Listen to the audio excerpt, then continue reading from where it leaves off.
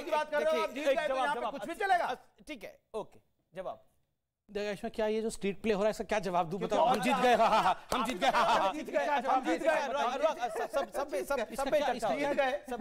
देखिए बोला देखिए। अस्सी करोड़ जनता चाहती है। अमीश भाई जनता क्या चाहती है? जनता अपने मतपेटी में इसका उत्तर दे रही है। अमीश भाई आप बताइए इस देश में 32 वर्षों तक एक समुदाय कश्मीरी हिंदू समुदाय ने अपने दुख को व्यक्त नहीं कर पाया क्योंकि वो उनको फर्टाइल ग्राउंड ही नहीं मिला कि वो अपने हकीकत हमें को रख सके। आज कश्मीरी आसिफ खान कश्मीरी हिंदू देखिए आसिफ खान जी इतना हंसने का विषय तो नहीं है कश्मीरी पंडितों के विषय में मैंने कहा तो। ये हंसने का विषय है। आप जिस प्रकार ठाके ये एक- जनता है मोदी जी की नकल एक को फॉलो कर रहे हैं। ताली मोदी जी जिस तरह से बजाते आसिफ जी आसिफ जी एक सेकंड अगर आसिफ भदौरिया जी ने ताली बजा दी तो आपको बड़ा ऐतराज है। आसिफ जी ताली तो बजा रहे हैं आप आजकल। जब ताली बजाते हैं तो जनता भी ताली बजाएगी। आसिम जी आसिफ। आसिफ जी मैं आपसे एक निवेदन करूँ आसिफ जी आप बड़े भी हैं मैं सम्मान भी करता हूँ आराम से बात करेंगे। आसिफ जी मैं कश्मीरी पंडितों के विषय में बात करता हूँ तो हमेशा ऐसा क्यों होता है? कि आप लोग हँसते हैं?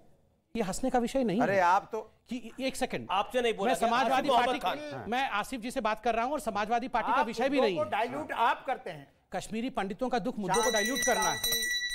एक एक सेकंड देखिए देखिए कश्मीरी हाँ, पंडितों की व्यथा पे बात हो रही है ना घंटी बजाने का वक्त है ना? तो okay let him speak then Asif Mohammad Khan. भाई आपको लगता होगा कि हम लोग हर डिबेट में कश्मीरी पंडितों की बात क्यों करते हैं?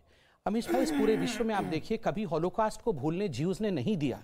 इस पूरे विश्व में देखिए जो प्रताड़ना ज्यूज के ऊपर हुई ज्यूज हर यूएन में खड़ा होता है चाहे वो किसी कॉन्फ्रेंस में होता है वो याद दिलाता है कि आज इसराइल की आवश्यकता इसलिए थी क्योंकि हमारे ऊपर इस प्रकार से प्रताड़ना की गई। क्यों कश्मीरी पंडितों का यह अधिकार नहीं है कि उनके ऊपर जो हुआ है बत्तीस वर्षों तक उन्हें चुप रहने के लिए? और आज भी हमारे इतने बड़े बड़े प्रवक्ता यहाँ आके ठाके मार के हँसते हैं जब कश्मीर अगर आ- मैं किसी मुसलमानों के किसी मुसलमानों के विषय पे हंस दूँ कभी मैं ऐसा करूँगा नहीं अगर हंस दूँ तो आप बताइए फतवा जारी हो जाएगा फतवा जारी हो जाएगा। इनकी हिम्मत देखिए ठीक है, ठीक है। और ये घंटी बजाते हैं। कश्मीरी पंडितों के विषय बजाएँगे। हाँ, घंटी बजाएँगे, घंटी। क्या बजाएँगे। दिक्कत घंटी से भी दिक्कत हो गई आसिफ मोहम्मद खान घंटी से भी देखिए, दिक्कत है। मोहम्मद खान घंटी से दिक्कत है। भदौरिया घंटी जी, घंटी बजाएँगे। से दिक्कत हो गई जब भदौरिया घंटी से दिक्कत है। नहीं, नहीं, कश्मीरी पंडितों का वैसा है पंडितों के विषय तो- में कश्मीरी पंडितों के विषय में आप मुझे बोलने नहीं देंगे। आप घंटी बजाकर उसका मज़ाक उड़ाएँगे। मन शांत तन शांत। घंटी बजा शांत अमित जी अच्छा आसिफ मोहम्मद खान। आसिफ मोहम्मद खान। ये आसिफ मोहम्मद को घंटी दीजिए तो मैं देखता हूँ ये आसिफ मोहम्मद की घंटी बजाते हैं। जी, प्लीज़ नहीं अमीश भाई आसिफ भाई जरा घंटी बजाना। अमित कितने सेक्युलर है हमें अभी टेस्टिंग होगा। टेस्टिंग मैं टेस्टिंग लूँगा। मेरी घंटी मैं क्यों नहीं नहीं मैं टेस्टिंग लूँगा। अरे ये लाइए। घंटी है। लाइए। जय श्री राम बजा बजा और सुनिए, दूसरा और बजाइए। आप बोलिए गॉड से मुर्दाबाद। आप बोलिए गॉड से मुर्दाबाद। मुर्दाबाद बोलिए। गॉड से मुर्दाबाद घंटे। बोलिए गॉड से मुर्दाबाद घंटी बजाइए। घंटी बजाइए। गॉड से मुर्दाबाद घंटी बजाइए। घंटी बजाइए। बजा रहे बजा रहे बजा रहे। बज गई घंटी। बधाई हो। आपको ये हिंदुस्तान है। ये हिंदुस्तान है। ये हिंदुस्तान है। आतंकवादी है। कहिए गॉड से आतंकवादी है। अरे गॉड से मुर्दाबाद आतंकवादी है कहिए। मुर्दाबाद कहिए आतंकवादी है घंटी घंटी कहिए गॉड से अरे एक सेकंड सेकंड हो। गया। आज का डिबेट हो गया। ये हिंदुस्तान। आसिफ अहमद ने ये घंटी बजा दिया हिंदुस्तान है। कि बहुत हिंदुस्तान में मंदिर हैं। में। मंदिर मंदिर आप भी आइए मस्जिद में इबादत करिए। मैं नहीं करूँगा। अच्छा ही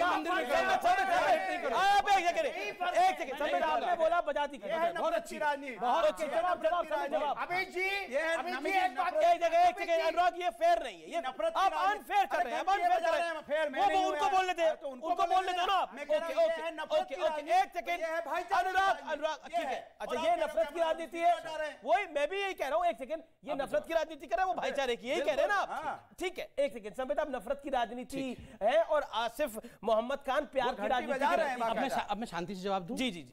आसिफ भाई शांति से सुन लेना फिर आप देना। तीस सेकंड। देखो आसिफ भाई मुझे अच्छा लगा।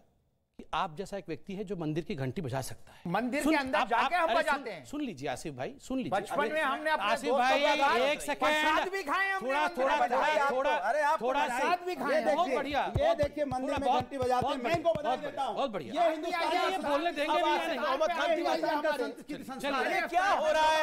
ये ऐसे ऐसे डिबेट नहीं हो सकती अनुराग आप आप बाकियों को बोलने देंगे ना आप। अब बोले ना मैं बोले आज यार एक बार ही बोले अभी तक। ठीक है। आसिफ मोहम्मद खान बोले ही नहीं है। बोले तीस सेकंड संबित पात्रा।